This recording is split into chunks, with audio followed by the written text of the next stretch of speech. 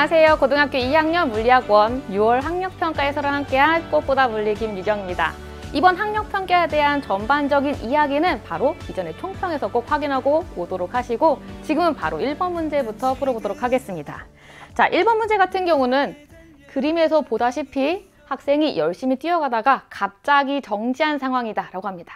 자, 갑자기 정지한 그 순간 귀에 꽂혀있던 무선 이어폰이 그대로 이 점선에 따라 낙하했다라고 하는 상황이고 이 상황에 대한 설명을 지금 기억, 니은, 디귿 보기에서 골라라 라고 하는 것인데 기억부터 보도록 할게요. 자, 기억 보기 같은 경우는 이 무선 이어폰이 P에서 Q로 가는 동안 속력이 증가한다라고 합니다. 자, 속력에 대해서 묻고 있기 때문에 이 무선 이어폰의 운동에 대해서 얘기를 한번 해볼 텐데 무선 이어폰이 이 곡선 경로를 따라 낙하하는 이유는 무엇일까 얘들아? 처음에 분명히 이 사람과 함께 수평 방향으로 속도가 있었어. 그때 속도를 우리가 V0 이렇게 써놓도록 할게요. 그런데 이 속도가 있었지만 운동 방향과는 일치하지 않는 바로 지면을 향하는 방향으로 중력과 속도 이 G가 있는 상황이다 라고 볼 수 있죠. 이러한 때 우리는 무슨 운동을 한다라고 배웠냐? 바로 포물선 운동을 한다라고 배웠고 중력과 속도의 크기 그리고 방향이 일정하기 때문에 이러한 운동은 바로 무슨 운동? 등가속도 운동이다 라고 배웠습니다. 자 이렇게 등가속도 운동을 하고 있기 때문에 P에서 Q를 가는 이 경로에서 기억에서 나온 대로 속력은 그대로 증가한다 라고 볼 수 있어서 기억은 동그라미다 이렇게 체크할 수 있습니다. 자 그리고 니은 평균 속도의 크기는 평균 속력보다 작다라고 얘기하고 있죠. 자 니은에서 묻고 있는 것은 어떤 개념? 바로 속력 그리고 속도라는 개념을 알고 있느냐를 묻고 있습니다. 속력은 선생님이 기호를 썼듯이 무슨 양일까? 바로 스칼라량이다 라고 할 수 있고 속도는 위에 선생님이 화살표 표시를 했기 때문에 속력의 방향까지 포함된 개념 바로 벡터량이다 라고 할 수 있습니다. 자 이렇게 보았을 때 이 속력이라는 것은 어떻게 구했지? 우리 여기 위에다 잠깐 지우고 쓴다면 속력이라는 것은 시간분의 뭐? 바로 이동거리다 라고 구했어요. 실제 이 점선을 따라서 스피커, 이 스피커가 아니지, 이어폰이 이동한 이 거리가 바로 이 S라는 거고 그때 이 값을 시간으로 나누면 속력이라고 부른다는 것 그리고 이것에 대칭되는 속도라는 개념은 시간분의 바로 변위이다 이렇게 얘기를 하겠죠. 그럼 여기서 변위는 뭐다? 이 P점에서 Q점까지 직선으로 이은 이 거리라는 얘기야.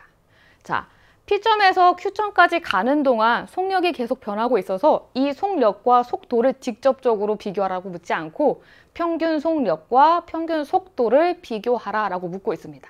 자, 그럼 여기서 이 변이와 변이 그리고 여기 P에서 Q까지 곡선인 경로 S인 이동거리를 비교하면 바로 이 둘의 값이 비교될 텐데 한눈에 보기에도 변이라는 것은 처음 지점과 끝 지점의 가장 짧은 직선 거리를 뜻하기 때문에 이동 거리의 크기가 크고 이동 거리를 시간으로 나눈 바로 이 속력의 크기가 더 크다라고 얘기를 할 수 있겠죠. 그래서 니은 보기에 지금 평균 속도의 크기는 평균 속력보다 작다라고 나온 이 보기도 그대로 정답이다라고 체크할 수 있습니다. 자 그리고 디귿 보기 운동 방향과 가속도의 방향은 같다라고 하는데 이 말 얘들아 듣는 순간 어떤 생각을 해야 돼? 운동 방향은 누구의 방향과 같은 것인가? 선생님이 아래 잠깐 쓰면은 운동 방향이라는 것 자체는 바로 속도의 방향과 같다라고 얘기할 수 있고 가속도의 방향과 같은 것은 바로 힘의 방향과 같다라고 얘기할 수가 있겠죠. 둘의 방향이 언제나 일치하지 않는다란 얘기야. 자 그렇게 따지면 디귿은 그대로 오답이다 체크해서 정답은 기억, 니은 체크할 수 있는 3번이다 라고 얘기할 수 있습니다. 자, 이 문제는 그렇게 어렵지 않았으니까 스스로 한 번 더 잘 확인해보고 그 다음 2번 문제 보도록 할게요. 2번 문제 같은 경우는 위에 여자가 먼지를 털고 있는 상황을 제시하고 있고 그리고 보기 기억, 니은, 디귿 중에 같은 원리를 이용한 것을 찾아라 라는 것입니다. 자, 먼지가 왜 제거된다라고 얘기할 수 있지? 이불을 빵 하고 먼지털로 치는 순간 먼지는 그 자리에 그대로 남아있다라는 거야. 그 자리에 그대로 남아있다라는 것과 관련 있는 뉴턴 법칙은 몇 법칙? 그대로 1법칙이라고 얘기할 수 있지. 자, 뉴턴 운동 1법칙 우리 뭐라고 부를까? 바로 관성의 법칙 이렇게 부릅니다. 물체가 외부에서 힘을 받지 않았을 때 혹은 외력의 크기가 0이라고 했을 때 그때 자신의 운동 상태를 유지하는 성질이 관성이다라고 얘기합니다. 자, 자신의 운동 상태 뭘 얘기할 수 있지? 가만히 있던 물체는 그대로 정지해 있다라는 것. 그리고 움직이던 물체는 자신의 운동 방향과 속도를 바꾸지 않고 앞으로 같은 속력으로 계속 일정하게 가는 등속 직선 운동을 한다라는 것입니다. 자, 이 첫 번째가 바로 관성의 법칙이라는 거야. 그러면 뉴턴 운동 이 법칙도 있겠다라고 할 텐데 그건 무슨 법칙? 바로 가속도의 법칙이라고 얘기를 하죠. 가속도의 법칙은 뭐야? 힘이라는 것의 크기는 가속도에 비례한다는 얘기야. 그리고 가속도라는 것은 누구? 질량에 반비례한다라는 것이 두 번째 이 가속도의 법칙입니다. 자, 마지막 세 번째 법칙 하나 더 있는데 그게 작용, 반작용의 법칙 이렇게 얘기하죠. 이건 뭐지? 내가 힘을 가하면 항상 반대편이 나에게 가하는 반작용이 늘 존재한다라는 것. 이게 바로 세 번째 작용 반작용 법칙이겠죠. 자, 이 중에서 먼지털이와 관련이 있는 것은 바로 첫 번째 관성의 법칙이야. 자, 그럼 기역, 니은, 디귿에서 관성의 법칙과 관계가 있는 것을 골라라 라는 것입니다. 자, 그럼 기역부터 볼게요. 기역에 육상선수가 스타팅 블록을 밀어서 출발한다 라고 하고 있어. 내가 이 스타팅 블록을 밀으면 스타팅 블록은 나를 밀어주겠지. 자, 그럼 내가 밀어주는 힘 뭐라 그런다? 작용. 블록이 나를 밀어주는 힘은 바로 반작용이다. 이렇게 체크가 됩니다. 자, 선생님이 체크하는 것만 봐도 이거 몇 법칙이야? 그대로 3법칙이다 라고 쓸 수 있어. 그럼 기억은 그대로 틀렸다. 체크할 수 있죠. 그리고 니은 컵 위에 종이를 툭 친대. 그때 종이 위에 놓인 동전은 컵 속으로 떨어진다 라고 하고 있어. 자, 분명히 우리가 생각했을 때 종이 위에 놓여 있는 이 동전은 종이와 함께 움직여야 할 것 같지만 종이 위에 정지한 상태를 유지하다가 아래에 있는 종이가 툭 빠지면서 그대로 밑으로 떨어진다는 거야. 그럼 이게 몇 법칙이다? 이게 바로 1법칙을 뜻하는 거야. 그럼 니은은 정답이다 또 체크할 수가 있습니다. 자 그리고 디귿 버스가 갑자기 앞으로 출발하면 승객이 뒤로 쏠린다 라고 하고 있어. 자 앞으로 갑자기 출발한데 내 입장에서는 나는 내 정지한 상태를 유지하고 싶은데 앞으로 끌려가는 상황이야. 그래서 뒤쪽으로 쏠린다라고 하니까 이 디귿도 그대로 관성의 법칙해서 이번에 정답 니은 디귿 있는 4번 이렇게 또 체크할 수가 있습니다. 자, 뉴턴의 운동 법칙에 대해서 묻는 문제 굉장히 평이한 것 같지만 그리고 잘 풀겠지만 기본적인 개념을 확인하긴 문제이기 때문에 꼭 역시 확인하고 그 다음 3번 문제 보도록 할게요. 3번 문제 같은 경우는 시간에 따른 물체의 위치를 주어져 있는 상황입니다. 자, 그러면 선생님은 여기서 위치가 0인 지점을 그냥 기준점이다라고 할게요. 4초일 때 위치가 0인 이 지점, 여기가 원점에 있다라고 얘기를 할 거야. 자, 원점에 있는 이 상황에서 볼 때 처음 위치는 2m보다 더 멀리 있는데 대략 선생님은 이 위치를 눈대중으로 그냥 3이라고 써보도록 할게요. 그러면 원점이라는 이 위치가 있는데 원점을 향해서 오는 것이 바로 여기 0에서 4초 사이의 운동이다 이렇게 쓸 수가 있겠죠. 자 이렇게 된 상황에서 4초가 지나고 나면 어떻게 돼? 원점으로부터 멀어지고 있는 운동을 한다 이렇게 하면은 이때 4에서 7초 사이의 운동 방향은 서로 앞과는 다르다는 것을 우선 볼 수가 있겠죠.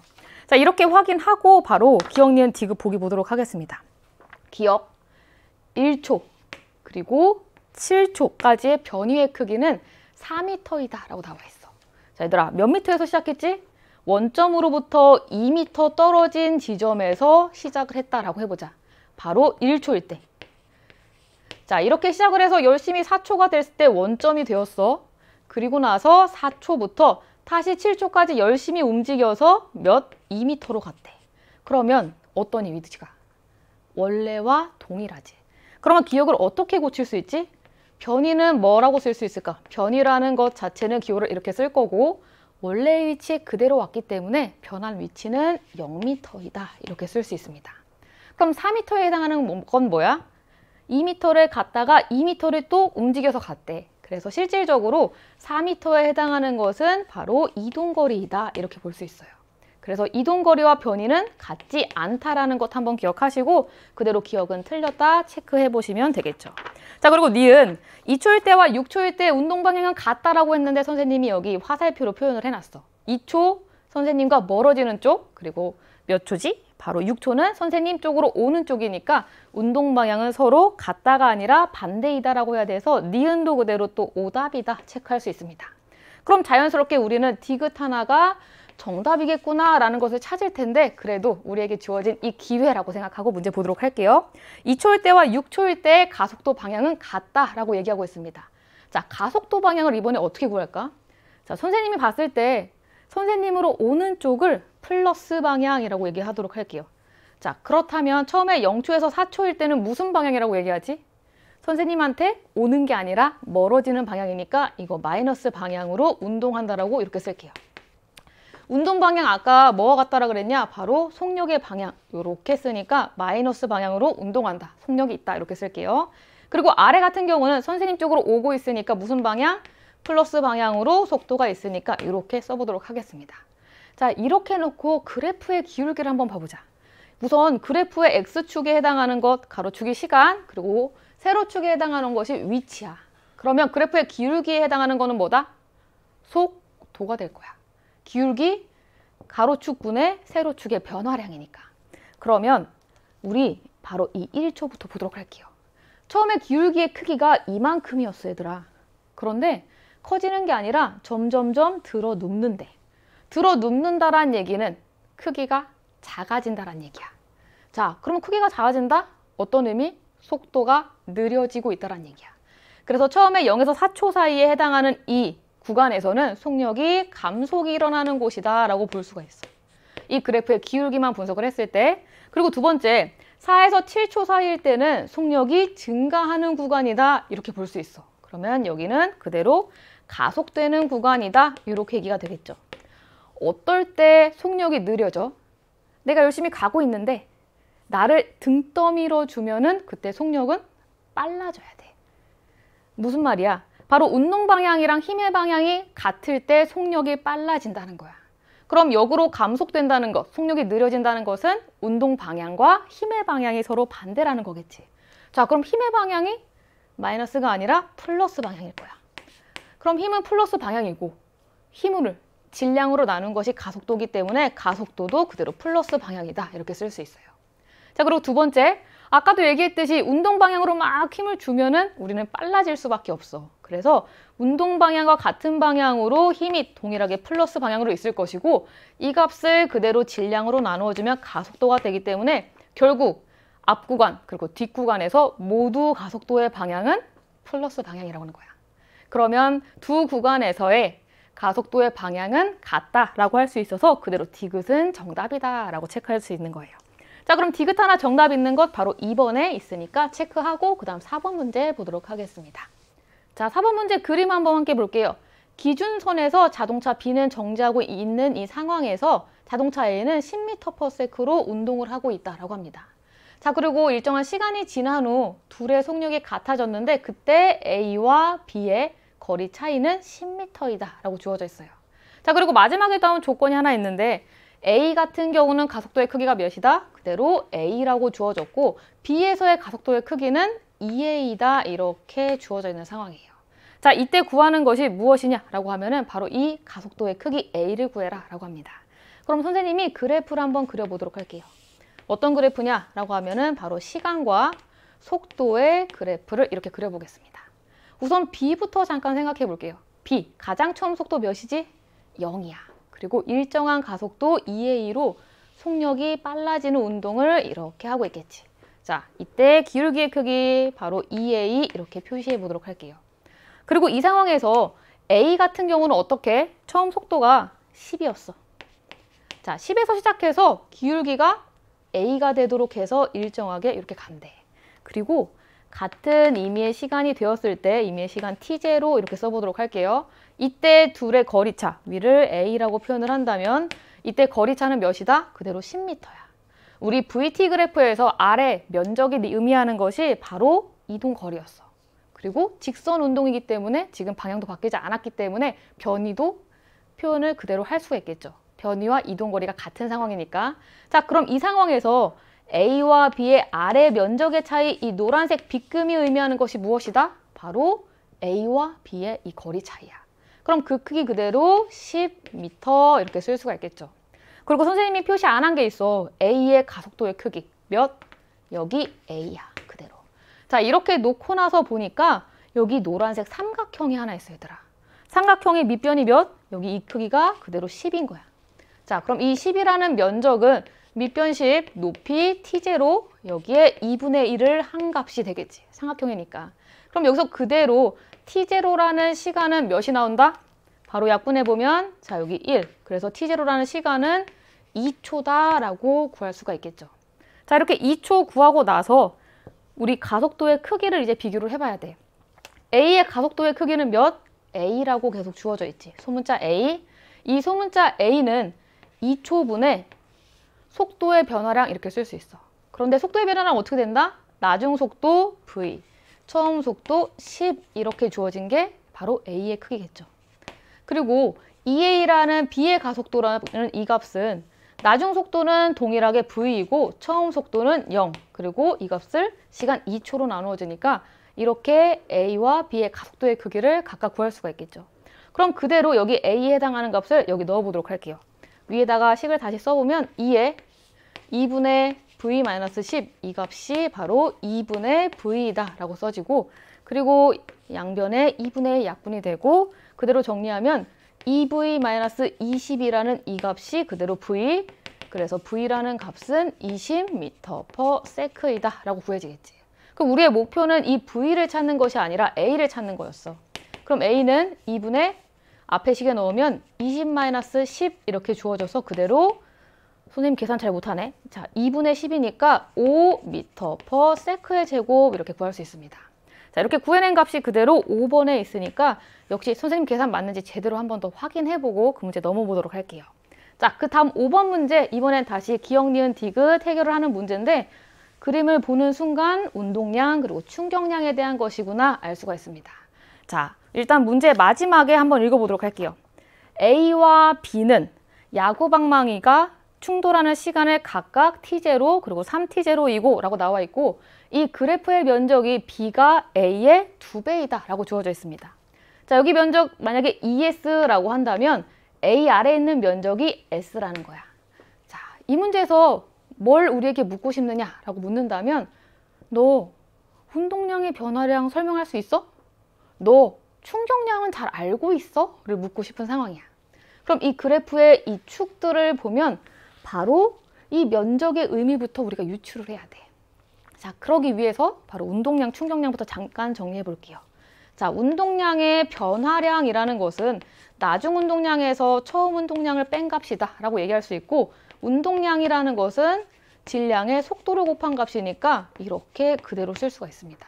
나중 속도와 처음 속도가 이렇게 주어진다면 그런데 이 값은 뭐와 같냐라고 한다면 바로 충격량과 같대. 그리고 충격량이라는 것은 힘과 그리고 힘을 가한 시간의 곱이다 이렇게 써지는 거야. 자, 이 중에서 이 그래프를 보고 알 수 있는 게 바로 이거야, 얘들아. 힘과 시간의 곱이래. 힘과 시간의 곱. 바로 이 면적이 나타나는 게 뭐다? A와 B가 받은 충격량이란 얘기야. 자, 그리고 충격량을 구했다면 뭐와 같다? 이것은 그대로 운동량의 변화량과 같다. 이렇게 얘기할 수 있습니다. 자, 그럼 바로 보기 기억 보겠습니다. 기억의 야구 방망이로부터 야구공이 받은 충격량의 크기는 B가 A의 3배래. 뭐를 비교해? 그래프의 면적 그대로 비교해야 되는데 면적은 2배야. 그러면 3배가 아니라 몇 배로 고쳐준다? 2배로 고쳐야 되니까 기억은 틀렸다라고 할 수 있죠. 자, 그리고 두 번째, 이 식을 아느냐를 묻고 있어. 바로 읽어보겠습니다. 야구 방망이에 의한 야구공의 운동량의 변화량의 크기는 2배이다라고 했어. 충격량이 두 배면 운동량의 변화량도 같기 때문에 똑같이 두 배여야 돼. 그래서 이번에 니은은 오히려 맞는 복이야. 자 그리고 디귿 야구 방망이로부터 야구공이 받은 평균 힘의 크기는 B가 A의 3분의 2배래. 자 이번에도 마지막 이 식을 이용해서 구해보자란 얘기야. 우선 우리 충격량의 크기 한번 비교해 보도록 할게요. 우리 A와 B의 충격량의 B는 몇 대 몇? 그래프의 면적으로 보면은 1대 2야. 맞아? 그런데 걸린 시간은 몇 대 몇이야? 시간 TA 그리고 TB 이 값은 1대 3이야. 그럼 이 식을 잘 우리가 조절을 해보면 조작을 해보면 평균적인 힘의 크기는 시간분의 충격량이다 이렇게 쓸 수가 있겠죠. 그대로 이 식을 분수로 취해주면 된다는 얘기야. 자 그러면 써볼게요. A와 B가 받은 평균 힘의 크기는 몇 대 몇이다? 1대 3분의 2다 라고 되겠지. 그런데 문제에 뭐라고 나왔어? 지금 B가 A의 3분의 2배라고 나왔으니까 이 디귿은 그대로 또 정답이다 라고 체크할 수 있는 거야. 자, 이렇게 그래프의 의미만 잘 알면 해석할 수 있는 문제니까 역시 확인하고 정답 4번 니은 디귿 체크하고 한 장 넘어가서 6번 보도록 하겠습니다. 6번 드디어 물체의 운동에 대해서 나왔는데 이거는 사실 물리학을 공부했다면 풀 수 있어야 될 것 같아. 굉장히 자주 나오는 거고 너희들이 진짜 공부를 했다면 이 정도는 준비를 해야 됐다는 거야. 내가 시험을 정말 글씨만 보겠다는 의지가 아니었다면 자 그럼 이 그래프부터 볼게요. 지금 처음에 그림 먼저 봐야 되겠네. A와 B가 B에 의해 매달려 있는데도 정지해 있대. 누구에 의해서? 이 사람이 잡고 있어서. 그런 상황에서 손을 딱 놓았고 그리고 시간이 1초가 되었을 때 이 실이 끊어졌다는 얘기야. 그리고 이 상황에서 B의 속력을 시간에 따라 나타낸 것이 바로 나의 그래프다 라고 주어져 있습니다. 자 그럼 이렇게 봤을 때 뭔가 엄청난 사건이라는 것이 바로 이 1초야. 1초의 전과 후는 전혀 다른 운동을 해야 한다는 거야. 자, 무엇이 다르냐를 본다면 1초 전에는 B 혼자 운동하는 것이 아니라 A와 B가 함께 운동한다 라는 것이 중요 포인트. 그리고 1초가 넘어간 이후로는 실이 끊어졌기 때문에 B 혼자 운동한다는 얘기야. 그런데 공통점이 있어. 둘 다 어떤 힘에 의해서 운동한다라고 하는 것은 동일해. 자, 그걸 보기 위해서 힘을 한번 표시를 해볼게요. B에 작용하는 힘 뭐가 있을까 얘들아? 바로 아래로 향하는 중력이 있을 거야. 그러면 우리 그대로 30 뉴턴 이렇게 써보도록 할게요. 이거 어떻게? 3kg에 10m per 세크 제곱이라는 중력 가속도를 곱해서 자 이렇게 30뉴턴이 있고 A에도 어떤 힘이 있어? 중력이 있어. M, G 이렇게 쓰겠습니다. 그냥 10까지 쓰지 않고 그런데 이 중력의 방향과 이 실의 각도가 몇 도? 90도야. 자 그럼 우리 힘과 물체의 이동한 방향이 90도면 이 힘이 한 일의 크기는 뭐라 그래? 이 일의 크기는 0이라고 얘기하지.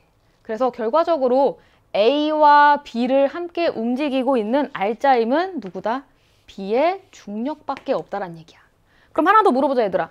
이 물체가 가만히 정지해 있다라고 했었지. 뭐에 의해서? 사람이 잡고 있는 힘에 의해서. 그럼 마찰이 없다면 잡고 있는 이 힘의 크기는 얼마여야 돼? B가 30N으로 당기니까 이 사람도 동일하게 처음에 30N으로 당기고 있었던 상황이다 라고 볼 수가 있겠죠. 자 이렇게 놓고 보면은 이 힘이 같다라는 것이 여기서도 30N, 여기서도 30N으로 운동한다라는 것이 같았다란 얘기야. 자, 그러면 여기서 이 그래프의 기울기를 구할 수 있을 거야. 30N이 나왔던 이유는 뭐 때문이다? 바로 중력 가속도 때문이라는 것. 그럼 여기서 1에서 2초 사이에 B, VB에서의 이 그래프의 기울기는 그대로 10m per 세크의 제곱 이렇게 구할 수가 있겠죠. 그러면 이 10m per 세크 제곱이 나온다는 것은 시간 변화량 1초분에 여기 16에서 V를 뺀 값이 10이니까 나왔다는 거고 그대로 여기서 V라는 이 값은 6m per sec라고 구할 수가 있겠죠. 자 그럼 여기서 이 값 6m per sec라고 써주면 바로 A와 B가 함께 움직일 때 0에서 1초 사이의 가속도도 구할 수 있습니다. 자 이때 가속도의 크기 아래다 구해볼게요. 가속도의 크기는 시간 1초분의 속도 변화량 6m per sec니까 그대로 6m per sec의 제곱 이렇게 얘기할 수 있겠지. 그럼 이거 이 힘 그리고 이 가속도의 크기를 이용해서 바로 A의 질량을 구해보자라는 거야. 자, R자 힘을 한번 이렇게 표현을 해보도록 하겠습니다. 계속 얘기하지만 누구에 의해서? 바로 B의 중력에 의해서 물체가 움직인다라고 하니까 R자 힘은 30N일 거야. 이때 움직이는 모든 물체는 A와 B의 총질량인 M 플러스 3kg 이렇게 되겠지. 그리고 이때 가속도는 그대로 6m/s 이렇게 될 거야. 그럼 여기서 약분되면 5 나오니까 결국에 M 이 값은 2kg이다 이렇게 구할 수 있습니다. 자, 이 과정 한번 잘 생각해보고 다양한 형태로 나올 수 있으니까 잘 기억하고 정답 2번 체크하고 그리고 7번으로 넘어가겠습니다. 자, 7번 문제 같은 경우도 선생님 보는 순간 용수철이 있어서 탄성력인가 했는데 아주 단순한 바로 운동량 보존이었습니다. 자, 운동량 보존 그대로 적용해서 가부터 생각해 보도록 할게요. 가에서 A와 B가 용수철로 연결되어서 1m/s의 속력으로 움직이고 있대. 그럼 가장 처음에 A와 B의 운동량은 어떻게 돼? 바로 총직량 1 플러스 2, 이 값에 속력 1m/s 해서 3이 되겠지. 3 단위 그냥 뉴턴 세크 이걸로 쓰도록 할게요. 선생님, C는요? C는 정지에 있어. 속력이 0이기 때문에 처음에 운동량이 없는 상태란 얘기야. 자, 그리고 또 하나. 선생님이 어느 방향으로 지금 플러스를 잡았어? 선생님을 향하는 쪽을 플러스로 잡고 반대 방향을 지금 마이너스로 잡았다라는 걸 볼 수 있겠지. 뭐로? 바로 이 1이라고 속력을 표현한 것으로. 자, 이 운동량이라는 것 자체가 속도를 구한 값이니까 부호, 방향이 있다는 것을 이 문제에서 알아라 라는 얘기예요. 자, 이렇게 생각하고 나를 보도록 할게요. 자, 이렇게 A가 함께 움직이다가 C와 B가 충돌을 했대. 그리고 충돌을 하면서 B와 C는 함께 V라는 속력으로 움직이고 있고 A는 반대 방향으로 튀어나갔대. 그럼 나중 운동량 그대로 아래 기술할 수 있겠죠. 자, 그대로 보겠습니다. A의 속력 2야. 근데 방향이 마이너스 방향이니까 마이너스 2. 여기에 질량 1을 곱해주면 되겠지. 자, 그리고 여기에 B와 C의 총 질량 2 플러스 3이라는 이 값에 V라는 속력으로 움직였다라고 하니까 이렇게 써주면 되겠지. 자, 그럼 여기 V는 그대로 선생님 방향이니까 플러스 제대로 썼었죠. 자, 그럼 아래 계산해보면 마이너스 2 플러스 5V라고 쓸 수 있고 우리 운동량은 보존된다라고 했으니까 P0라는 것은 그대로 P라고 쓸 수 있어서 3은 마이너스 2 플러스 5V라고 써지고 5V는 그대로 5 해서 결과적으로 V라는 이 값은 1m/s 이렇게 구할 수 있습니다. 자, 이런 유형 뒤에 한 번 더 나오니까 조금 다른 형태지만 동일한 패턴이니까 끝까지 함께 하시고 정답 몇 번? 우리 체크하면은 1번 속력 V 1m/s로 체크하고 그 다음 이번에 8번의 연력학 문제 한번 보도록 할게요. 연력학 문제에서 가장 흔한 패턴으로 나올 수 있는 바로 부피 그리고 압력에 대한 그래프입니다. 자, 부피 압력 그래프 주어져 있는 이 상황에서 A에서 B는 압력이 어떤 과정이다? 일정해. 바로 등압 과정이란 얘기야. 그리고 B에서 C는 그대로 위로 올라가고 있으니까 부피 변화량이 있다 없다? 없어. 그러면 한 일의 양은 없어. 그래서 우리 등적과정이라고 얘기하고 그리고 이때 한 일의 양은 그대로 0이다 이렇게 쓸 수 있습니다. 자, 이 과정 잘 생각하고 선생님이 이런 그래프를 보자마자 해야 할 것이 있다고 개념 완성에서 잠깐 얘기했습니다. 바로 등운선을 그어줘야 돼. 등운선 뭐? 선생님이 그린 이 선 위에 있으면 온도가 다 같은 선이란 얘기야. 그리고 선이 위로 올라갈수록 온도가 높은 선이야. 그럼 직관적으로 봤을 때 C와 B 중에 누가 더 온도가 높다? C가 온도가 더 높아진 상황이다 라는 거야. 이 선은 얘들아 정말 그냥 뭐라고 할까? 초록불이에요 라고 하면 우리 당연히 막 열심히 횡단보도를 건너지. 그런 것처럼 이 그래프를 보면 그냥 동물적으로 써야 돼. 이 등호선 표시 그리고 만약에 여기가 T1 여기 T2, T3 이렇게 주면 위로 올라갈수록 온도는 높아진다라는 것. 자, 이것만 해도 보기 하나 해결할 수 있으니까 이제 기억부터 보도록 하겠습니다. 기억. A에서 B 과정에서 기체가 한 일은 Q이다 라고 주어져 있어. A에서 B 과정에서 기체가 흡수한 열량이 뭐라고 주어졌냐? 바로 Q라고 주어져 있는데 한 일도 Q라는 얘기야. 그러면 이걸 하기 위해서 우리가 해야 할 것이 무엇이냐라고 하면 바로 연력학 1법칙이야. 연력학 1법칙은 외부에서 일을 가하면 내부 에너지를 변화시키고 기체가 일을 한다라는 것이 1법칙인 상황이야. 자, 그럼 A에서 B로 가면 온도가 어떻게 됐지? T3에서 T2로 높아졌어. 그럼 내부 에너지의 변화량의 값이 0이 아니지 얘들아. 어디서? 이 A에서 B 과정에서. 그럼 가한 열량이 온도도 변화시키고 일을 하는 거니까 둘 중에 누가 더 커야 돼? 한 일의 양과 열량은 당연히 열량이 커져야 돼. 그럼 당연히 그대로 같다라고 나온 이 기억은 오답이다 이렇게 체크할 수 있습니다. 그리고 니은 B 그리고 C 과정에서 기체의 온도는 증가한다라고 했어. 봐봐. 선생님이 이 등운선만 그래도 바로 해결할 수 있겠지. B보다 C가 등운선이 위로 올라갔으니까 온도가 증가한다라고 나온 이 니은은 그대로 정답이다라고 체크할 수가 있습니다. 그리고 디귿, 기체의 내부 에너지 변화량은 B에서 C 과정에서가 A에서 B 과정에서보다 크다라고 되어 있어. 자, 내부 에너지 변화량 이제 확인하기 위해서 이 식 먼저 B에서 C도 써보도록 할게요. 이거 자리가 좀 부족해서 이렇게 써보도록 하겠습니다. 자, B에서 C. B에서 C는 무슨 얘기해? 계속 등적 과정이라 그랬고 한 일회양이 0이래. 그럼 그대로 이 B에서 C 과정에서 가한 열량은 다 어디에 쓰였다라고 할 수 있지? 모두 내부 에너지 변화에 쓰였어요 라고 할 수 있어. 왜? 여기 한 일회양을 더해줘야 되는데 일회양이 0이니까. 자 그러면 이번에 A에서 B 과정은 어떻게 된다?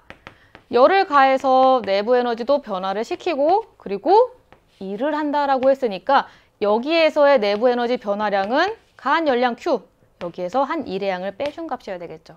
그럼 이때 내부 에너지 변화량은 누가 더 커? 바로 B에서 C 과정이 더 크다라고 또 결론을 낼 수 있어서 디귿은 그대로 또 정답이다 체크할 수 있습니다. 자 그럼 니은과 디귿이 정답에 포함된 것은 그대로 4번에 있으니까 4번 체크하고 다시 우리 물체 운동에 대한 9번 문제 보도록 할게요. 물체 운동, 사실 힘의 합력, 평형에 대한 것이니까 이 그림 보면서 얘기해 보도록 하겠습니다.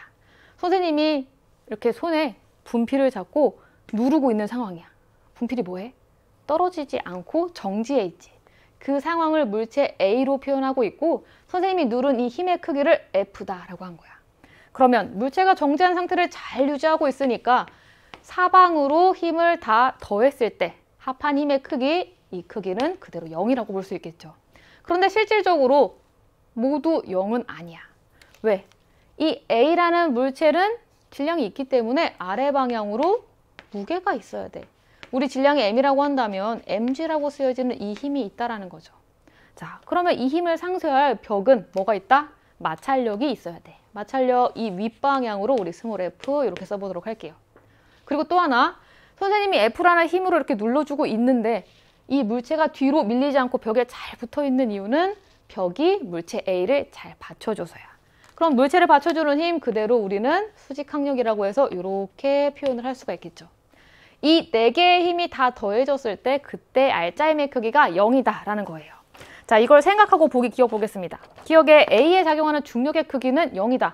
중력의 크기는 뭐다? 그대로 mg이다 라고 써야 되니까 기억은 오답 체크하시고 그리고 니은에 A에 작용하는 알짜임의 크기는 F이다라고 했는데 알짜임의 크기는 그대로 0이라고 해야 되니까 또 니은도 틀렸다라고 되겠죠.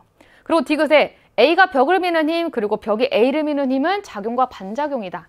이따 작용과 반작용 얘기 다시 한 번 더 하겠지만 주어와 목적어의 위치만 바꿔주면 그게 바로 작용과 반작용이다 라고 얘기합니다. 그리고 작용과 반작용은 항상 크기는 같고 방향이 반대로 작용하고 작용점이 서로에게 있다라는 특징이 있어서 한 번 더 이따 얘기할 거니까 여기서는 정답 그대로 2번 디귿 체크하고 넘어가도록 할게요. 자, 10번 문제 보도록 할게요. 10번 문제 A와 B가 같은 방향으로 V라는 속력으로 움직이고 있는 이 상황에서 동일한 이 물체 질량이 같은 이 A와 B의 힘 F를 서로 반대 방향으로 가고 있다는 거야. 가속도의 법칙 생각해 볼까? 이 물체의 질량 그대로 m, 여기도 같다라고 했으니까 m 이렇게 두도록 할게요. 그럼 A의 가속도는 어떻게 돼? 가속도의 크기는 뭐에 반비례한다? 질량에 반비례한다. 그리고 힘에 비례한다라고 했으니까 A의 가속도는 이렇게 주어져. 그리고 B의 가속도도 어떻게? B의 가속도도 B의 질량에 반비례하고 가한 힘에 비례한다라고 하니까 이렇게 주어지겠지. 자, 여기서도 선생님 어느 방향을 플러스로 줬다? 바로 선생님 쪽을 지금 플러스로 줬다라고 할 거야.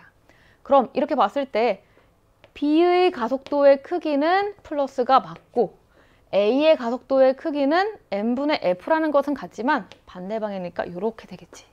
결과적으로 이 값 자체를 이미 A라고 한다면 A는 마이너스 A라는 가속도, B는 플러스 A라는 가속도로 A와 B가 같은 크기의 가속도를 가진다는 거야. 그리고 심지어 속도도 같아.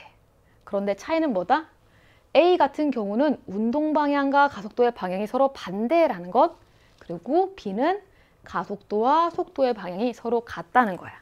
자, 이거 그대로 그래프의 아래에 한번 표현을 하면 자, VT 그래프에서 처음에 같은 속력 V로 물체가 출발을 했는데 이때 A 같은 경우는 마이너스 A라는 이러한 가속도가 있어서 속력이 점점 느려지다가 여기 임의의 시간 이 지점을 지나면 운동 방향도 바뀌는 상황.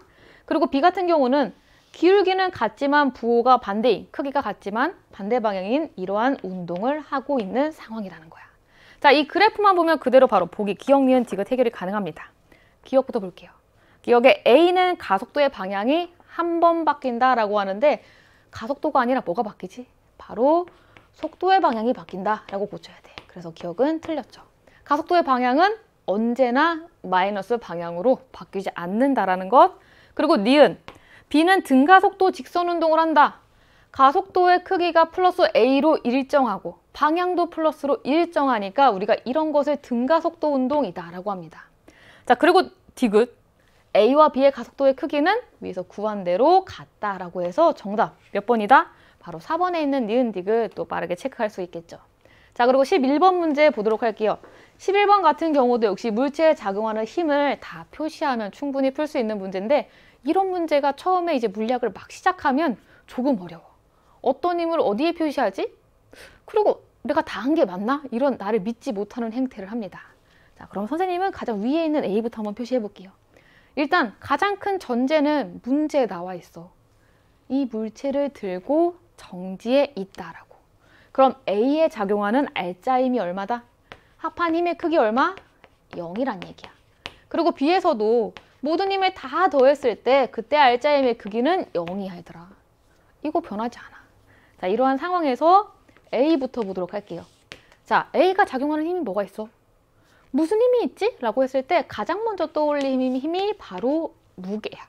무게, 바로 중력. MAG 이렇게 쓰도록 할게요. 이 물체에 무게가 있는데 떨어지지 않아. 서로 다 있는 이 면에서 받쳐준다는 얘기야. 누가 받쳐주고 있어? 바로 B가 A를 받쳐주고 있기 때문에 지금 물체가 역학적인 평형을 이뤄서 정지에 있다는 얘기야. 자, 이게 지금 A 상황, 그리고 이제 B의 상황 또 보도록 할게요. 그럼 B도 뭐부터 표시한다? 당연히 아래로 향하는 누구? 무게, 중력부터 표시하라는 얘기야. 자, 이렇게 표시를 했어. 그리고 무슨 힘이 있을까? 언제나 힘은 뭐로 존재한다? 작용과 반작용이 같이 존재한다.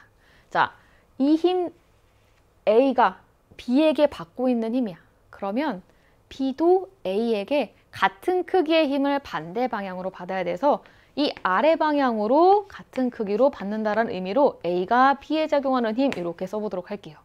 자 그리고 이 물체가 내려가지 않도록 누가 받쳐줘? 바로 사람이. 그래서 들고 있는 힘 이거 그냥 N 이렇게 써보도록 하겠습니다. 누가? 손이. 자 이렇게 놓고 봤을 때 옆에 쓴 것처럼 모든 작용하는 이 힘이 0이 되니까 이 두 힘의 크기는 어떻다? 서로 같다. 그럼 여기에 그대로 MBG, 여기에 MAG 이렇게 써줄 수가 있겠죠.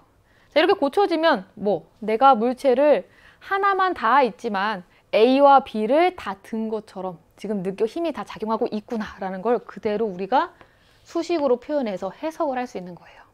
자, 이렇게 해석했으면 그대로 바로 기억 가야 되겠죠? 자, 기억에 지구가 A를 당기는 힘 뭐라 그래? 바로 중력이라 그래. 그럼 여기서 전체에서 누굴 얘기한다? 바로 이것을 얘기하겠지? 이 힘과 B가 A를 떠받치는 힘 바로 요거지. 이게 뭐를 이룬다? 평형관계래. 평형관계가 무엇이냐? 작용과 반작용이랑 조금 헷갈릴 수 있는데 어떠니? 크기가 같고 방향이 반대예요. 요거까지는 같아. 그런데 차이점은 작용점이 서로가 아니라 한 물체에 있어. 그래서 서로 상쇄할 수 있는 힘 그리고 또 하나 합력을 구할 수 있는 힘을 우리가 평형관계라고 얘기를 합니다. 작용 반작용과 차이가 있다는 얘기야. 그럼 두 힘이 크기 같고 방향이 반대니까 평형관계에 있다라고 하는 이 기억은 정답이지.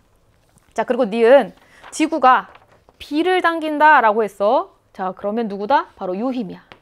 이 힘과 반대로 B가 지구를 당기는 힘.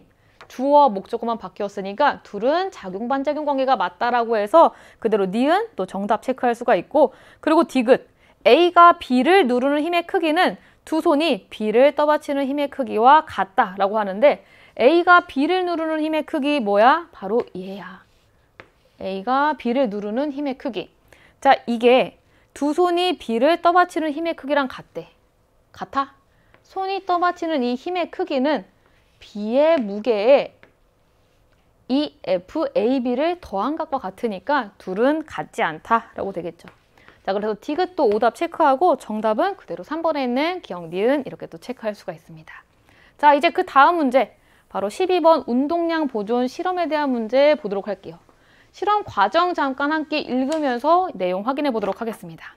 자, 첫 번째 가. 역학술의 A와 B의 이 질량과 그리고 추의 질량을 각각 측정을 한다 라고 되어 있어. 자, 그러면 각각 측정을 했다라고 나와 있을 거고 그리고 그림 나. 그림과 같이 수평한 시험대 위에서 A의 용수초를 압축하여 A와 B를 접촉시키고 그리고 레일 위에 속력 측정기를 설치한다라고 합니다. 둘이 딱 붙여놓은 상태다라는 얘기야. 한 몸이란 얘기야. 그리고 뭐? 한 몸인 상태로 가만히 정지시켜 놓은 상황이야. 자, 그리고 다 가의 용수철 잠금 막대를 가볍게 쳐서 두 역학수레를 밀어내게 하고 왜 얘들아 가볍게 친다라고 할까? 밖에서 가하는 외력은 없다라고 지금 얘기를 하자라는 거야. 자, 그래서 두 수레가 밀어낸대. 그러면 가만히 있다가 뿅 하고 분리가 되면서 양쪽으로 움직이는 걸 확인할 수가 있겠죠. 자, 그렇게 된 후에 A와 B의 속력을 속력 측정기를 이용하여서 아래 측정하고 표에 기록한다라고 되어 있고 라에서 B의 추를 올려서 질량만 변화시키면서 과정 나다를 반복하다라고 되어 있습니다. 이거 그럼 뭐에 대한 걸까? 둘이 가만히 있다가 그리고 정지해 있다가 양쪽으로 움직이고 있는 이 상황 뭐야? 운동량, 보존 법칙을 얘기하는 거겠지. 그럼 가장 처음에 운동량 계속 얘기하지만 두물체가 한 몸으로 정지해 있다라고 했으니까 뭐라고 할 수 있어? 정지해 있다. 속도의 크기가 0이니까 0이라고 할 수 있어. 그러면 나중 운동량도 그대로 뭐가 돼야 된다? 0이 돼야 돼. 그리고 운동량이라는 것은 방향이 있다 없다? 방향이 있어. 그러면 결국 A와 B가 서로 반대 방향으로 움직이기 때문에 A의 운동량의 크기 그리고 B의 운동량의 크기를 더하면 이 값이 0이 된다라는 얘기야. 그래야 처음과 같은 0이란 얘기니까. 자 그러면 이거 그대로 바꿨으면 PA는 마이너스 PB 이렇게 써질 거고 이 마이너스의 의미가 방향이라고 한다면 결국 A와 B의 나중 운동량의 크기는 같다란 얘기야. 자 그리고 운동량의 크기 어떻게 구했지? A의 질량 그리고 A의 속력 이렇게 쓰겠지. 이게 뭐와 같다? B의 질량 그리고 B의 속력이라고 되겠지. 그리고 실제로는 방향이 반대니까 여기가 마이너스 VP 이러한 형태로 나오는 거야. 자 그럼 그대로 실험 1, 2, 3 보도록 할게요. 자 둘을 곱한 값과 둘을 곱한 값이 같아. 그럼 실험 1 그대로 맞지. 그리고 여기도 둘을 곱한 값과 여기 둘을 곱한 값이 같으니까 여기도 운동량이 보존됐다라고 볼 거야. 그럼 여기 둘을 곱한 값은 여기 0.9의 기억을 곱한 값과 같아야 돼. 자, 그럼 다 바로 기억에 들어갈 값이 나옵니다. 기억에 들어갈 값 계산하면 0.25 이렇게 계산이 되겠죠. 선생님 지금 얘기했지. 0.5 곱하기 0.45. 이 값이 0.9 곱하기 기억과 같아서 나온 거야. 선생님 여기 쓴 것만 표시를 하면 헷갈릴 수 있으니까 자 그렇게 기억을 구하면 0.25라고 구할 수 있어서 그대로 디귿은 우선 정답이다 라고 체크가 가능합니다. 자 그리고 기억에 먼저 보도록 할게요. 실험 1에서 여기 1 보자. A와 B가 받은 충격량의 크기는 같다라고 해. A와 B 서로 누가 충격을 주고 있어? A에게 힘을 가하는 사람 누구? 바로 B야. 그리고 B에게 힘을 가하는 것도 A야. 그럼 A와 B가 서로에게 힘을 가한다. 이거 뭐라고 얘기할 수 있지? 바로 작용과 반작용이야. 작용과 반작용의 크기는 서로 같고 방향은 반대라고 했으니까 같은 크기의 힘을 받았다라고 얘기하는 것이 당연하다라는 얘기야. 그리고 시간은 어때? 서로에게 힘을 주고 있으니까 힘을 서로 주고받은 시간도 동일해. 그럼 옆에다가 잠깐 식으로 쓴다면 A가 받은 힘의 크기가 F라 그러고 A가 힘을 받은 시간을 T라고 하면 그대로 이것이 A가 받은 충격력이라고 쓸 텐데 충격량의 크기라고 쓸 텐데 이것과 같은 크기의 힘을 B도 받고 같은 크기의 힘을 같은 시간 동안 받으니까 이 크기도 B가 받은 충격량이라고 쓰니까 결국 둘의 크기는 같다라고 얘기할 수 있다는 거예요. 그럼 그대로 기억도 정답이다라고 또 체크할 수가 있겠죠. 자 그럼 마지막 니은만 보도록 하겠습니다. 니은에 실험 2에서 분리된 후 A의 운동량과 B의 운동량의 합은 0이다 라는 거 뭘로 이용해서 풀 수 있다? 바로 요거. 처음 운동량의 크기가 0이면 운동량 보존 법칙에 의해서 나중 운동량의 크기도 0이어야 되니까 A와 B의 운동량의 합은 그대로 0이다 라고 쓸 수 있어서 역시나 니은도 정답 체크할 수 있어서 우리 기역 니은 디귿 5번 정답 체크할 수가 있습니다. 자 이렇게 체크하고 그 다음 13번 문제 또 보도록 할게요. 13번 문제도 연달아서 운동량, 충격량에 대한 문제가 주어져 있고 지금까지는 직관적으로 그림으로 보고 풀어봐 라고 했다면 이번에는 나의 그래프의 형태를 주고 얘기하고 있습니다. 그래도 기본적인 건 뭐 어떻다? 처음 운동량은 나중 운동량과 같아야 된다라는 것. 운동량은 보존된다는 것. 그리고 운동량의 변화량은 충격량과 같다라는 것. 절대 변하지 않는 원리라는 거야. 자, 그러면 이 그래프에서 바로 각자 A와 B의 속력 보도록 할게요. 그럼 속력을 우리가 두 번씩 볼 수 있을 텐데 이 2초를 기점으로 볼 수가 있을 거야. 2초 전이 충돌 전 그리고 2초 뒤가 충돌 후 이렇게 써지겠죠. 그러면 우선 A부터 한번 구해보도록 할게요. 충돌 전 A의 속력 어떻게 돼? 2초분의 4m 이동했으니까 그대로 쓰면 2초분의지. 미안. 자 이렇게 쓰면 2m per sec가 충돌 전 A의 속력이라는 거야. 자 그리고 B의 속력도 보도록 할게요. 일단 크기는 어떻게 되니 얘들아? 2초 만에 6에서 4로 감소했다라고 하니까 2초분의 마이너스 2 써지니까 마이너스 1 미터 퍼 세크 이렇게 또 쓸 수가 있겠죠. 이게 전. 자 이제 그럼 이제 후도 볼게요. 후는 이 그래프의 대칭성을 이용해서 그대로 B와 크기는 같기 때문에 1미터 퍼 세크라고 구할 수가 있겠죠. 아니면 구해도 되더라. 시간 2초분에 이만큼 속력이 증가했다라고 해서 자 그리고 B도 보면은 시간 2초분에 4에서 10으로 6만큼 증가했대. 그러면 이렇게 써지면 3m per sec가 나중 속력이다 라고 볼 수 있습니다. 자 이렇게 구하고 나서 구할 게 A와 B의 질량을 지금 모르는 상황이니까 이 A와 B의 질량의 B를 한번 구해보재. 그럼 그대로 운동량 보존 법칙 쓰면 되겠죠. 자 처음 운동량의 크기를 각각 먼저 구해보도록 할게요. 자 A의 질량 MA 여기에 처음 속력 2 그리고 마이너스 MB 그리고 1 이렇게 더해주면 되겠죠. 왜 마이너스야? 여기 B가 반대 방향으로 운동하니까. 이게 처음 운동량이었다면 나중 운동량은 MA에 곱하기 속력 1 플러스 MB에 곱하기 속력 3 이렇게 되겠죠. 자 이거 그대로 정리하면 어떻게 돼? MA 이 값이 4MB라고 주어질 거고 우리가 원하는 값이 MA 나누기 MB가 돼서 이 값은 그대로 4이다 라고 구할 수가 있습니다. 자 정답 4 몇 번? 5번에 있는 거 체크하시면 되겠죠. 자 이것도 선생님이 지금 이제 문제를 풀어보면서 느낀 건데 B가 점선이라는 것 그리고 A가 실선이라는 것 그리고 방향 설정에서 플러스 마이너스만 설정했으면 사실 오답률이 높지 않아도 되는 문제입니다. 실수를 유발하는 문제였다라는 거야. 자, 실수하지 않기 위해서는 뭐다? 연습밖에 살 길이 없다라는 것. 자, 생각하시고 역시 14번 보도록 할게요. 14번도 개념적인 문제니까 문제 보겠습니다. 자, 딱따구리가 그려져 있고 딱따구리에 머리뼈 구조가 나와 있고 아래 그 설명이 있는데 읽어볼게요. 딱따구리가 부리로 나무를 찍는 박치기를 하루에 12,000번이나 한대.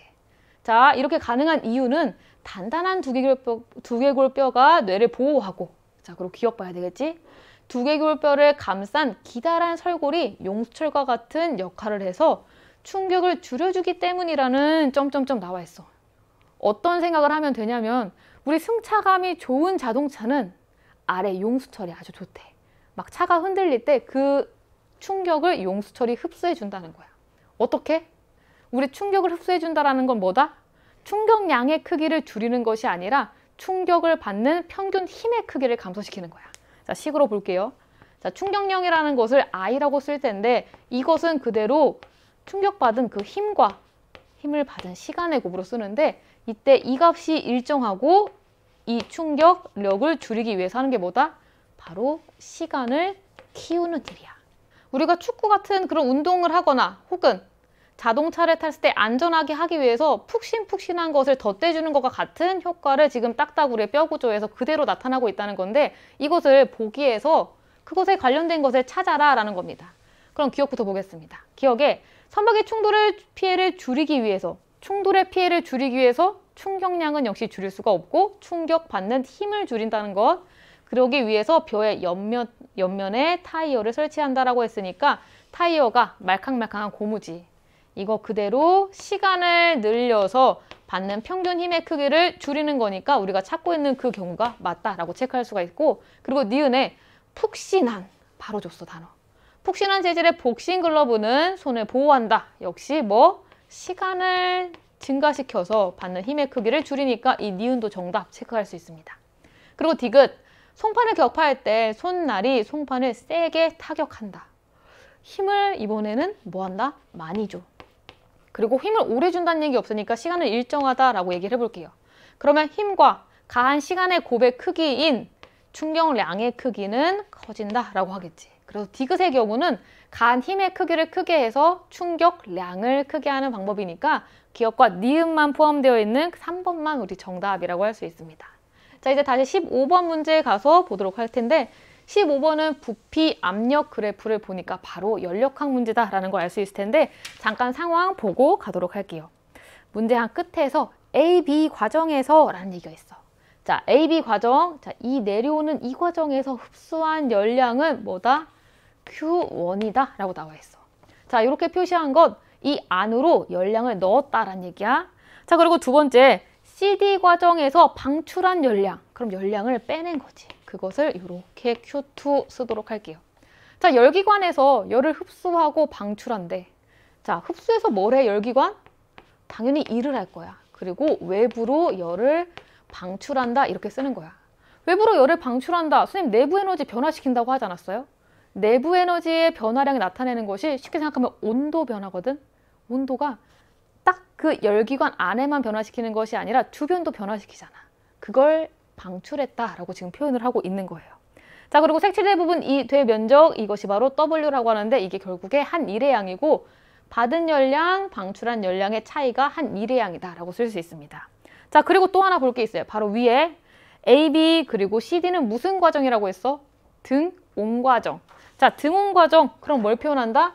선생님이 이 그래프 보면 은 가장 먼저 신호등 보자마자 우리 뛰어가는 것처럼 하랬잖아. 등 온선. 그러면 이 점선을 따라서 온도가 같아. 그리고 여기 T1, 여기 아래 T2 이렇게 쓰면 둘 중에 누가 더 높다? 바로 이 T1의 온도가 더 높다라는 것 기본적으로 확인해야 되겠죠. 그리고 문제 여기 D에서 A 그리고 B에서 C 과정은 어떤 과정이라고 나왔냐? 바로 단열 과정이라고 나왔어. 단열 과정 바로 열이 차단됐다라는 의미니까 Q는 그대로 0 이렇게 되겠죠. 자 이렇게 보고 보기 기억 볼게요. 기억 T1 그리고 T2를 비교하라라고 하는데 T1이 T2보다 큰 게 맞으니까 기억 그대로 정답 체크할 수가 있겠죠? 자 그리고 니은에 나온 것 한번 밑에 쓰자. 한 일의 양 W는 Q1 플러스 Q2래. 자 이게 맞냐라고 물었는데 선생님 위에 이렇게 써놨어. 그러면 이거 어떻게 고친다? 한 일의 양 W라는 이 크기는 Q1에서 뭐를 해준다? Q2를 뺀 값이다 라고 해야 되니까 그대로 니은은 오답 체크가 가능하겠죠. 자, 그리고 이제 디귿 보도록 할게요. 디귿에 열기관의 열 효율을 물었어. 열 효율은 어떻게 구할까? 옆에다가 한번 쓰고 갈게요. 열 효율이라는 이 값 가한 열량분의 한 일의 양이다. 이렇게 구해. 혹은 가한 열량분의 가한 열량에서 방출된 열량 Q' 이렇게 쓰면 이 형태로 나오겠지. 그럼 이 값은 1-Q분의 Q' 이렇게 될 거야. 그런데 우리 문제에서는 Q가 뭐라고 나왔냐? 그대로 Q1이라고 나왔으니까 이렇게 1이 써져 될 거고 여기 1, 여기 1, 그리고 프라임 대신에 2, 여기 2 이렇게 써지겠지. 자 이렇게 놓고 보면은 디귿의 열기관의 열 효율이 나온 걸 잠깐 쓰면 Q2분의 W라고 나왔지만 이것과 선생님이 쓴 것은 전혀 일치하지 않지. 어떻게 고친다? 그대로 Q1분의 W이다 라고 고쳐야 되니까 디귿도 역시 오답이다 체크하면 은 1번에 있는 기억 하나 정답 체크하고 넘어갈 수 있습니다. 자, 자 여기서 우리 이거 하나 다시 생각해 보자. 왜 선생님 이거밖에 없어요? 라고 이것이 가능한 이유는 A에서 D 그리고 B에서 C 과정이 단열 과정이기 때문에 가능해. 만약에 A에서 C, A에서 C 아니지 D에서 A, B에서 D에서 열량을 흡수하거나 방출했다면 이 식은 우리가 쉽게 쓸 수가 없습니다. 그때 또 많은 생각을 해봐야 되고 대체적으로 단열 과정이라는 전제가 있으니까 이것만 확인하고 우리 들어간 열량, 방출한 열량 문제 해결하면 그대로 될 것 같아요. 자, 그 다음 이제 한 장 넘어가서 마지막 페이지에 있는 16번 보도록 할게요. 16번 지금 문제 보면은 용수철이 벽면에 연결되어 있고 용수철이 늘어나지 않은 상황이 바로 이 5점이다 라고 주어져 있는 거야. 그리고 물체를 매달아서 A점까지 당겼대. 자 이렇게 당기고 나서 뭐 했냐? 가만히 놓았대. 가만히 놓으면 뭐하지? 탄성력에 의해서 원래 길이로 되돌아가려고 진동을 하면서 음, 가까이 가겠지. 그때 이 가까이 갈 때까지의 상황을 묻고 있다라는 건데 이것을 풀기 위해서 기본적으로 알아야 될 것이 있습니다. 첫 번째, 탄성력의 크기야.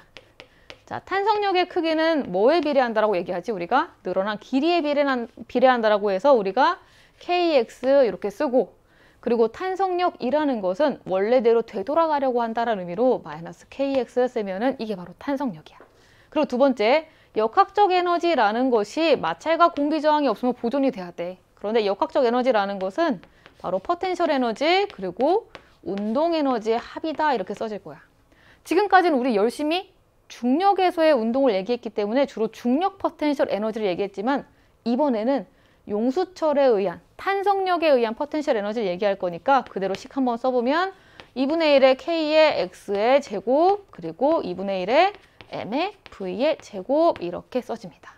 자, 이 두 가지 생각하고 일단 기역부터 상황 보도록 할게요.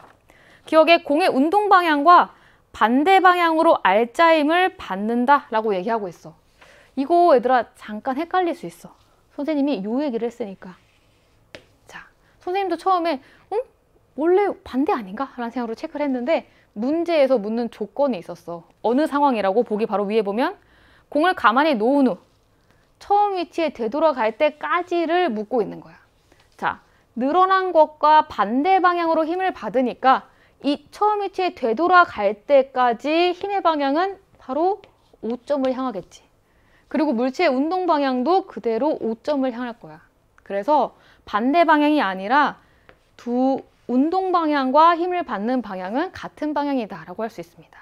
그럼 하나 더 물어보면 5점에 딱 도착했을 때 힘의 방향은 어떻게 돼? 힘의 방향을 묻기 전에 크기를 생각해 봐야 될 텐데 탄성력의 크기는 아까 이야기한 대로 길이에 비례한다라고 했는데 여기 지난 이 순간 길이가 0이니까 순간 0이야. 자, 하지만 왕 이게 이제 다시 압축이 되겠지.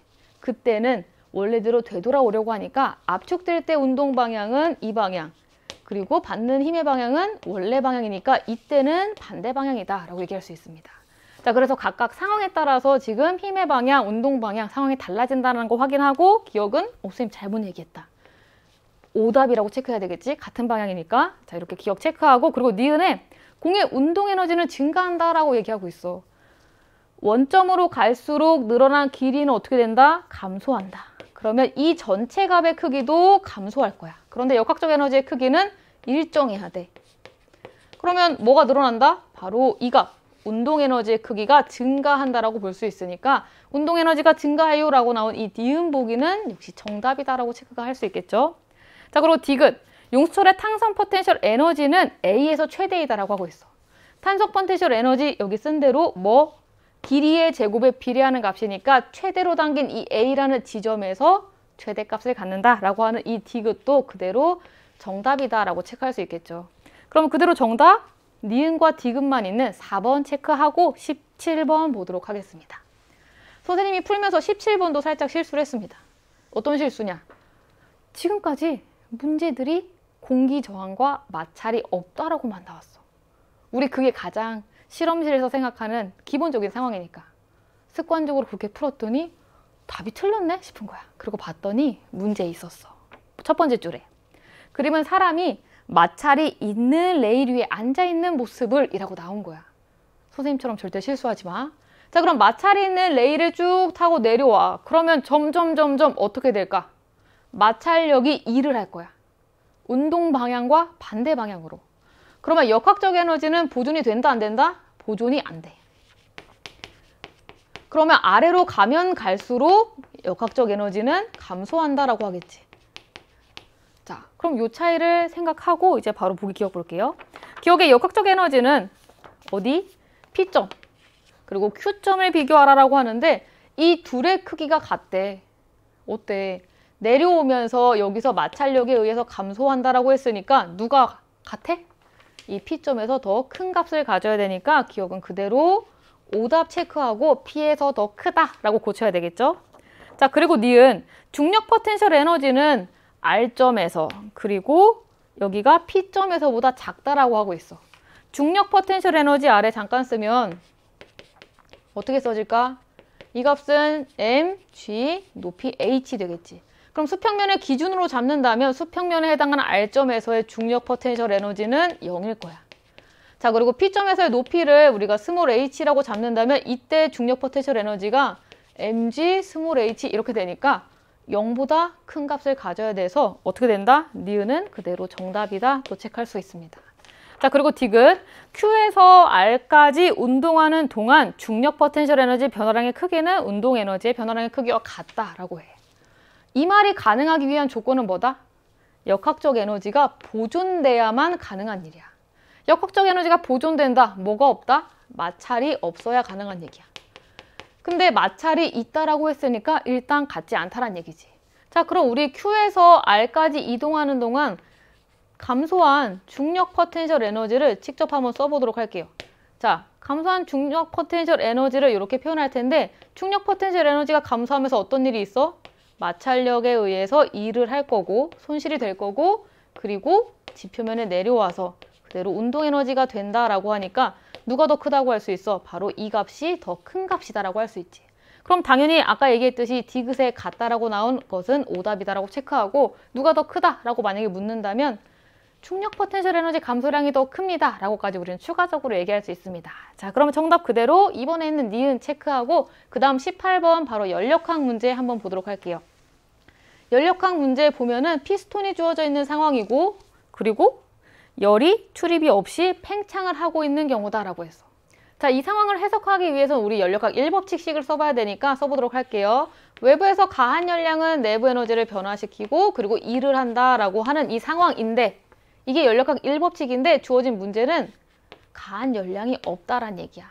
자, 그때 내부 에너지 변화 그리고 일에 대한 얘기인데 그림에서 하는 얘기는 부피가 뭐 하는 과정이다? 팽창하는 과정이다 라고 나온 상황이야. 자, 부피가 팽창한다. 기체가 이그 피스톤을 밀어내는 일을 한다란 얘기야. 자, 이렇게 분석을 하고 나면 이 일을 한다라는 의미가 플러스의 값을 가지니까 결국에 이 내부 에너지 변화량은 음을 값을, 값일 거고 이 음의 값이 나타내는 것은 온도가 내려간다라는 것을 의미가 하겠죠. 자, 그대로 기억부터 볼게요. 기억, 외부에 일을 한다. 팽창하는 동안 일을 한다라고 했으니까 기억은 그대로 정답이다라고 할 수 있겠죠. 그리고 니은의 온도는 증가한다라고 했지만 내부 에너지가 감소한다라고 얘기했기 때문에 마이너스 값을 갖는다라고 했기 때문에 온도는 내려간다라고 해야 돼서 니은은 오답이다라고 할 수 있습니다. 자 그리고 디귿에 나온 것이 지금 압력에 대한 얘기인데 압력이 일정하다라고 나와 있지만 실제 압력은 온도가 내려가면서 함께 감소한다 이렇게 얘기됩니다. 그럼 이 중에서 정답 뭐다? 바로 기억 하나이다 라고 얘기가 되겠죠. 자 우리 그러면 이거 한번 PV 그래프에 한번 그대로 표현을 해보도록 할게요. PV 압력과 부피의 그래프에서 가장 먼저 할 것이 등온선을 그려라 라는 얘기. 그래서 등온선을 이렇게 그리면 이 두 개의 선 중에 위에 있는 T1, 아래를 T2라고 하면은 온도가 이 위가 높다란 얘기야. 그럼 여기서 이 단열 팽창을 그려라 라고 하면은 그대로 이러한 형태로 내려오는 것으로 나타낼 수 있습니다. 그래서 우리 이 그래프 바로 앞장에서 봤으니까 역시 확인하고 직접 그려보기도 하고 그 다음 문제 또 보도록 할게요. 바로 오답률이 가장 높았던 19번 보도록 하겠습니다. 자, 가에서 먼저 보면 물체를 높이가 h인 지점에서 가만히 놓았다라고 하고 있어. 자, 가만히 놓는 운동 우리 뭐라고 해? 중력에 의해서만 낙하하고 있는 처음 속도가 0인 운동이니까 이걸 자유낙하 운동이다라고 합니다. 그럼 여기에 그대로 중력과 속도 아래로 g라고 쓸 수 있을 거고 처음 속도의 크기는 0이라고 쓸 수 있을 거야. 그리고 이 밑에서의 속력을 선생님 v 이렇게 얘기해 보도록 할게요. 이때 속력은 선생님이 지금 임의로 표현한 표식이야. 문제에는 운동량으로 주어져 있어. 그럼 선생님의 표현으로 바꾼다라면 운동량의 크기는 그대로 mv 이렇게 쓸 수가 있겠죠. 그리고 또 하나 시간을 모를 때 등가속도 운동의 식을 우리가 사용을 한다면 이 V를 주어진 문자인 높이 h로 표현할 수 있습니다. 자, 시간이 없을 때 사용하는 그 세 번째 식 써보도록 할게요. 자, 어떻게? 나중 속도 제곱. 처음 속도의 제곱은 2의 가속도 그리고 이동거리 h 이렇게 되겠지. 자, 그럼 여기서 그대로 v라는 값은 어떻게 된다? V라는 이 값은 루트 2gh 이렇게 써지는 거야. 자, 이게 첫 번째 수평면 위로 낙하하고 있는 가에 대한 얘기야. 자, 그리고 두 번째 나를 보도록 할게요. 나에서 속도는 모르겠지만 질량이 2m인 이 물체의 운동량이 2p로 주어졌대. 그러면 2p라는 것은 선생님이 표현하는 이 V로 표현한다면 M 곱하기 2V 이렇게 쓸 수가 있겠지. 혹은 그냥 P라는 것을 2에다가 그대로 MV 이렇게 곱해줘도 되겠지. 그런데 물체의 질량이 바로 EM이라는 거야. 그러면 자연스럽게 이 수평면에서 공이 던져진 속력은 몇이다? 그대로 V라고 쓸 수가 있겠죠. 그래서 그대로 옆에 위로 V로 던졌다라고 얘기를 해보도록 할게요. 자, V로 위로 던져졌어. 하지만 우리 지구 지표면 바로 중력이 있는 데서 공이 운동하기 때문에 나의 운동 방향과 상관없이 언제나 지표면을 향해서 연직 방향으로 중력과 속도 G가 있다. 이렇게 얘기할 거예요. 자, 중력과 속도 G가 아래로 있어. 운동 방향과 반대야. 그럼 이걸 뭐라고 쓴다? 아래 방향으로 있으니까 마이너스 G 이번에 이렇게 쓰겠습니다. 자, 그럼 속력이 점점 점점 점 어떻게 된다? 느려져. 그리고 최고점에 도착해서 뭐 한다? 이제 더 이상 갈 수가 없어. 아래로 힘을 받으니까 순간 정지해야 돼. 그래서 나중 속력을 여기서 0이 됐다라고 해볼게요. 그리고 이때 높이를 선생님이 구하고 싶어서 large h 이렇게 한번 써보도록 하겠습니다. 그럼 이것도 동일하게 가처럼 등가속도 운동에 시간이 없는 식을 써보자라는 얘기야. 자, 그럼 나중 속도 0의 제곱, 처음 속도 v의 제곱, 이 값이 2의 마이너스 g의 그리고 large h 이렇게 될 거고 여기서도 v라는 이 값이 루트 2의 g의 large h 이렇게 주어지겠지. 음. 자, 이제 그럼 우리 이 large h는 선생님이 임의로 쓴 거니까 바로 옆에서 비교해 보도록 할게요. 같은 형태로 식이 나와 있으니까 large h는 뭐다? 동일한 small h가 된다라는 걸 알 수 있겠지. 결국 같은 형태의 운동 그래프를 약간 뒤집어서 뭔가 대칭으로 나타나는 것처럼 표현을 할 수 있다는 얘기야. 자, 이렇게 생각하고 이제 보기 기역 보도록 하겠습니다. 기역에 바로 묻고 있어 얘들아. 뭐? B의 최고점에서의 높이 어디까지 올라가요? 라는 걸 확인했을 때 이 높이가 small h이다 라고 주어졌어. 그럼 그대로 제대로 구했기 때문에 기억은 우리 정답 체크할 수가 있겠죠. 그리고 니은 여기 별표 좀 쳐보자. 자, 던진 순간부터 수평면에 되돌아올 때까지 B의 운동량의 변화량은 0이라고 되어 있어. 자, B의 운동량의 변화량 보도록 할게요. 여기 그대로 지우고 자, 2P라는 운동량이 있다는 얘기는 윗방향으로 조금 전에 지운 대로 V라는 속도가 있다는 얘기야. 그러면 최고점에 도달한 이후 공은 그대로 중력에 의해서 또 낙하할 거야. 그때부터 공의 운동은 처음 속도가 0인 것처럼 그리고 이때 중력과 속도가 아래로 작용하는 것과 동일하게 작용을 해. 자 그러면 이 지점에서 속력은 아래 방향으로 V라고 할 수 있겠지. 혹은 이 지점에서 수평면을 기준으로 한다면 역학적 에너지가 보존된다라고 할때 포텐셜 에너지의 크기는 위로 던지는 순간 그리고 수평면에 도달하는 순간 모두 포텐셜 에너지가 0이기 때문에 모든 에너지가 다 운동 에너지야. 그러면 운동 에너지이기 때문에 둘의 값은 같다라고 또 쓸 수가 있을 거야. 자, 이렇게 놓았을 때 아래 방향으로 속도가 V라면은 운동량의 크기는 몇이다? 운동량의 크기는 2P야. 하지만 방향이 반대니까 마이너스 2P가 되겠지. 그러면 나중 운동량의 크기 마이너스 2P 그리고 처음 운동량의 크기가 2P니까 결국 마이너스 4P라는 이 값이 뭐다? 운동량의 변화량이다 이렇게 돼. 그래서 0이라고 나온 것 크기가 같네 라고 헷갈리지 말라는 것. 운동량이라는 것은 언제나 방향이 있는 값이라는 것 꼭 기억하라는 것이 바로 니은복이니까 니은도 실수하지 않도록 체크 잘하고 그리고 이제 디귿보기 보도록 할게요. 디귿보기가 아 이거 뭐지? 라고 할 수 있어. 만약에 이 속도로 표현을 하지 않았다면 자 그리고 또 하나 운동량으로 지금 운동 에너지를 표현하지 않았다면 이게 무슨 얘기인지 모를 수가 있을 거야. 그래서 우선 운동 에너지를 운동량으로 한번 표현해 보도록 해볼게요. 자, 운동 에너지의 크기는 2분의 1의 m의 v의 제곱 이렇게 주어질 수 있지? 자, 이것에 분자와 분모에 모두 m을 곱해보도록 할게요. 그러면 분자에 m 제곱 v의 제곱 이렇게 되겠지.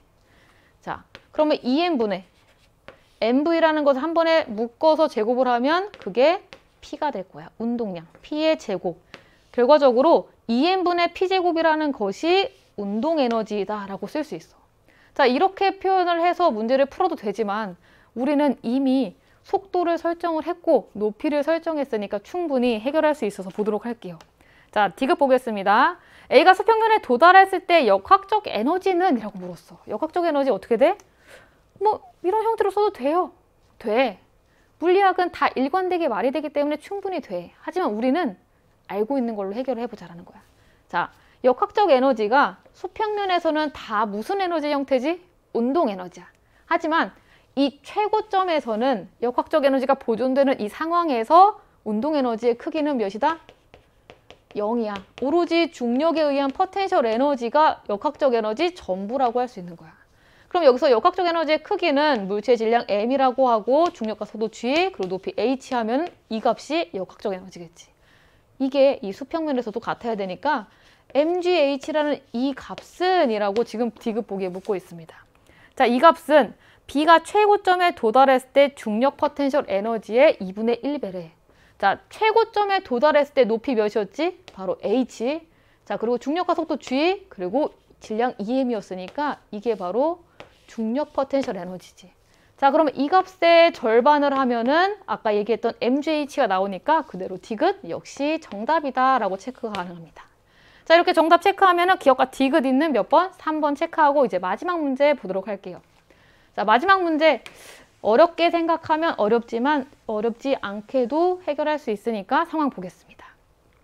A를 잘 붙잡고 있어.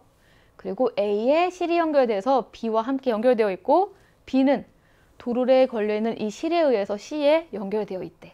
자, 여기에서 C가 낙하한대. 얼마만큼? 높이가 바로 2분의 1 H가 될 때까지 낙하한대.